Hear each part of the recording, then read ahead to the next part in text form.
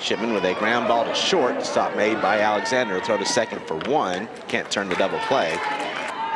And 2-2 pitch is a ground ball to second. Duchur's there. Nice play on the back end. Pitch. Popped. Oh, that's a soft line that's going to fall for a base hit in the center field. That one's popped up to shallow center underneath it and making the catch is Preuitt. Does, goes after one high and pops it up. Making the catch is Hardiman for out. One, two. Swing and a miss. Strike three. Stevens is down on. Ground ball to Duchur at second. The throw is going to be just in time.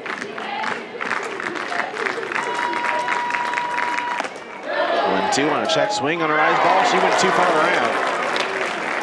So two outs now for Mania Bailey. Lines it right back up the middle, and that's a base hit.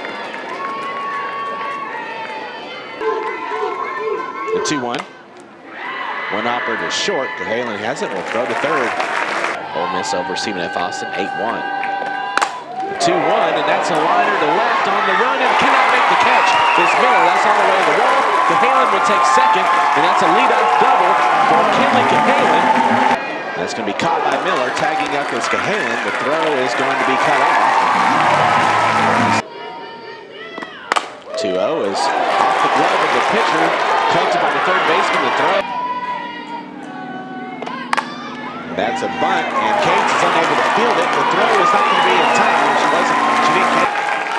Another 2-2 on its way. Duchur takes it right. 1-0 is a well-hit ball to deep center field, and that one's gone.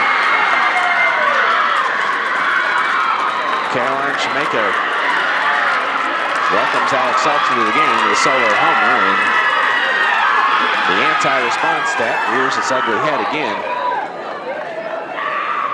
for Alabama. Lead over Ole Miss. One-two is a blooper to left. On the run is Johnson. She makes a tremendous diving catch. And the bases loaded here. The 0-2 is a ground ball to short. They'll throw home to get the lead runner. The 0-1, Brangy with a fly ball to deep center field. This one's way back. Way gone! Two-run homer for Ashley Brangy moves the tie within two. It's now